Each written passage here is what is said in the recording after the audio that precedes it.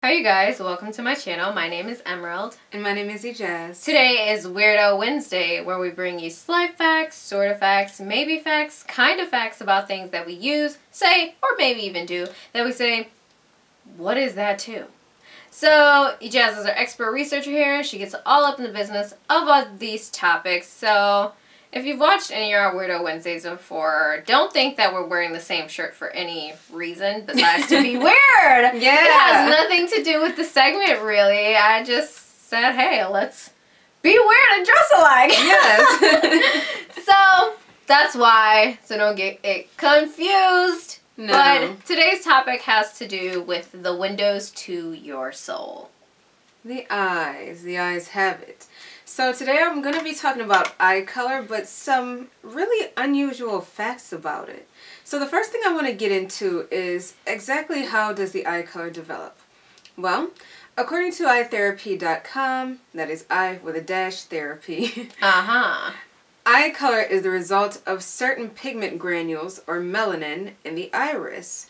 More of these granules produce darker color eyes while less produce lighter color. That's why in babies, whether mm-hmm. human or animal, you'll see they might be born with blue eyes, but as they grow older, the eye color may actually change to either a darker blue or even brown, green, or some other variant. This is because of the production of melanin. So this melanin is a key feature as to why our eyes can even change as we get older, like even after our eye color is fully developed. Uh-huh. Have you ever seen, you know, some older people who have these very light eyes, but you know, you may have known them and they haven't always had them, like Morgan Freeman, I'll throw in an example. Yes. He's one person that I've noticed and I was like, wow, his eyes haven't always been that light. Yeah, we were watching this show on National Geographic. It's called, what, The Story of God, I believe it's called. Or something like that. Yeah.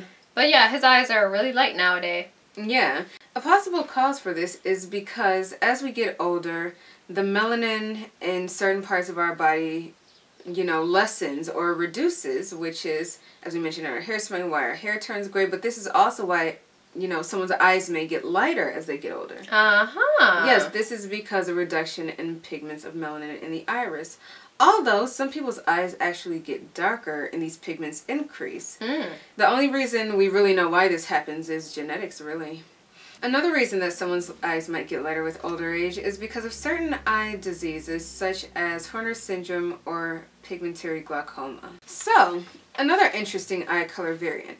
Have you ever seen someone who may has like one blue eye and one brown eye? Yes. Yeah, or like maybe their one eye actually has two different colors. Mm-hmm. Well, this is due to a condition called heterochromia iridis. According to medicinenet.com, this is usually a hereditary gene, meaning it's passed from generation to generation, although certain problems at birth can affect the production of the iris color, causing this sort of genetic mutation of sort. Although there are a host of other diseases and conditions that can contribute to the syndrome later in life as well, so it may not always begin at birth, but can actually occur at some other point given, you know, a certain condition. The amount of melanin present in the eyes is also a reason why people who lack melanin in other areas such as skin or hair color tend to have lighter eyes such as shades of blue and why those with the darker skin typically have brown eyes or other darker shades because genetics. Genetics and melanin play a huge part in our overall physical appearance and these things actually relate to one another in some weird ways. Speaking of eye color, so you know the classic ones, brown, blue, Gray, Gray. green. green, which is actually the rarest eye color in the world. I thought it was gray. Really? Yeah, green eye is actually the rarest. But I'm sure you've heard of the gorgeous Miss Elizabeth Taylor and her famous purple violet eyes. I've heard. But were they really? Well, a lot of people say no. According to a website called Quora.com, people who appear to have violet eyes, including Miss Taylor, actually have deeper shades of blue that can appear to be purple given the lighting conditions in the room or certain color, even color clothes they wear or color eye makeup that they apply.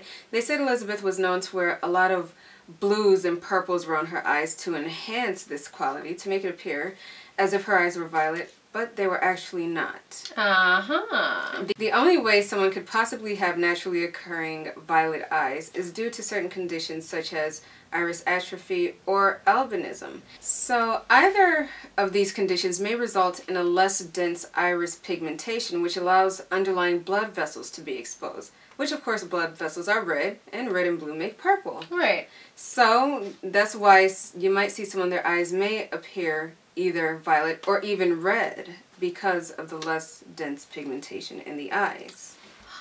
Oh, interesting. Yeah. So could that be a reason why my eyes sometimes look burgundy-ish? Well, in the case of your eyes, it's likely a result of the lighting conditions. When the pupils either contract or expand, this can cause the eye color to appear to change. So uh-huh. this is due to certain conditions, as I mentioned earlier, like lighting. That's probably the most common reason why, you know, some people may experience changes in eye color. And melanin production can also be a cue as well. The more that these pigments change, your eye color can actually change throughout your life as well and in certain moments and in certain conditions. Uh-huh. Well, that's very interesting stuff. I always wondered about the violet eyes. I was like, that's just too good to be true. I know. I always envied Miss Taylor. Well, now you can just go to Africa and get your eyes sliced open and get whatever color eyeball you want. Take, you uh, can. You know, thanks to technology, I don't recommend doing it, but there are people who have, and they say it's safe. They say it's safe. They always say something's safe until they tell us it's not anymore. Yeah. But anyway, I just say stick to good old contacts until, you know, something else changes. Yeah. Whatever. Mm-hmm. We're going to move along with this Weirdo Wednesday into the next segment, which is called the Joke of the Day. He just creates them, we laugh at them, with her, or at her, as long as we are laughing. Alright, so what's today's joke? I am ready. Alright, well, let's see if it makes you laugh. What did the person say to their eyes when they couldn't find their glasses? Uh, guess we're going to be blind today? no. What? I'll contact you later. Oh, like eye contact and then later. Okay. All right. All right. All right. uh, good, good, good, good, good, good, good. All right, you guys. Thank you so much for watching this Weirdo Wednesday segment. I hope you enjoyed it. And um, we do this to get you over the hump of the week.